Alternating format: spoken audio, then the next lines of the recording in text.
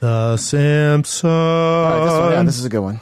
So, the Simpsons writers are planning to write off Apu because of the controversy around him.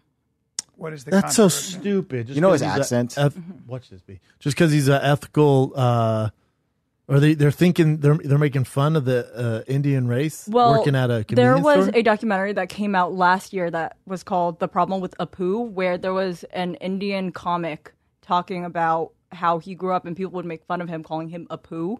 And he got a bunch of other Indian actors and people in the industry to talk about it. And ever since, there's been a backlash about Apu. I so mean, now how, they're trying to how big him of a backlash is it?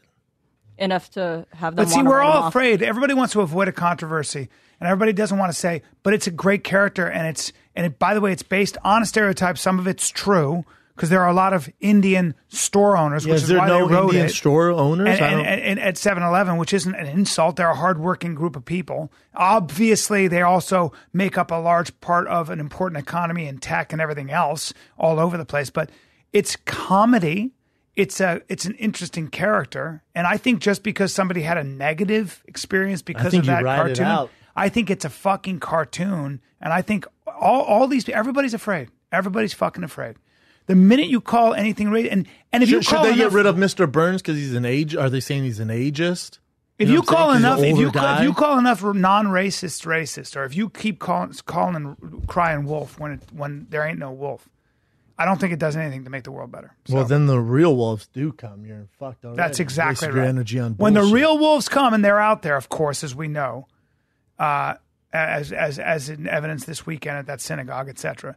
That that's that's the shit. That's the shit. And I think that this just creates this weird false It's narrative. so I don't weird. buy it. I don't buy. They said they're going to drop the. Apu character altogether. They aren't going to make a big deal out of it or anything like that, but they'll drop him altogether just to avoid the controversy. Why are they so scared of controversy? Being on air for 30 years?